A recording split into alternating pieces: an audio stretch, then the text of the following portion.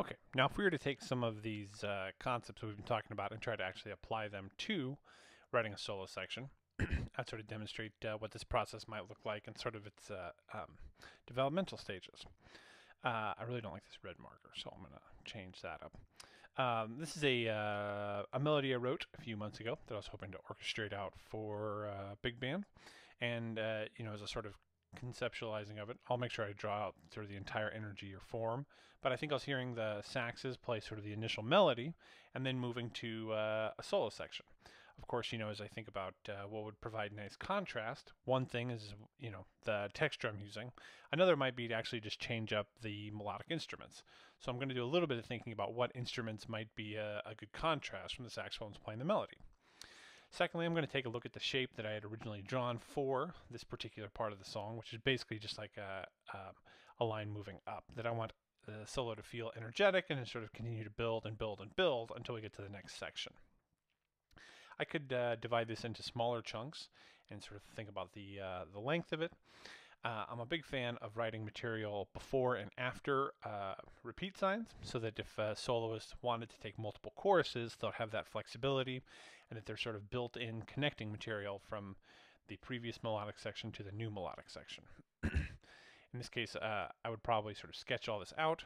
Um, this particular song has an AAB form where it's like uh, 16 bars, 16 bars, uh, 16 bars.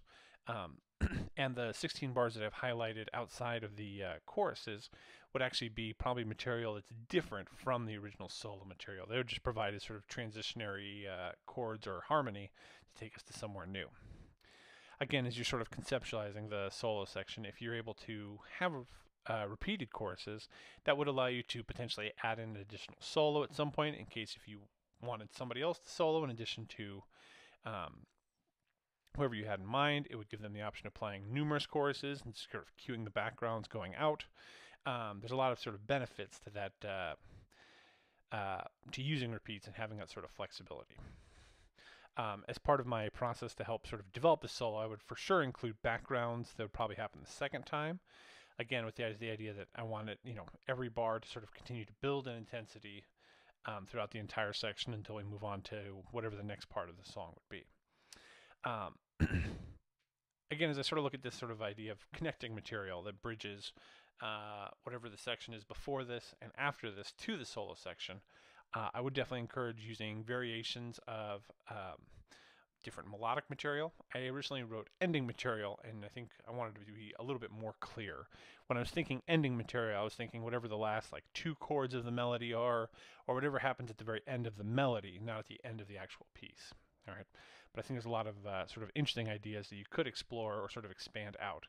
In this case, this is like a 3-4 song that uh, has uh, goes back and forth between two minor chords at the very end. So I think there's lots of uh, sort of variations you could do to sort of move that around. You can go into a different key or somewhere else.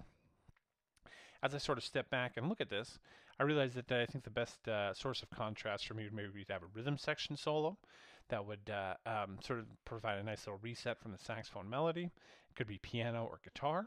and then, of course, that would sort of impact everything. That would impact how I decide to write backgrounds uh, um, and what instruments might uh, be supportive.